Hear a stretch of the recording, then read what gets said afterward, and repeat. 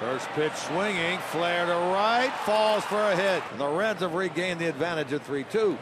Another ball to center, another hit by Suarez. That will score Votto. Down the left field line for Winker. That's a fair ball. Two-run double for Jesse Winker. And that's going to be a base hit. Ball gets to three. Here comes the runner to the plate and safe the call. A six-run inning now by the Reds.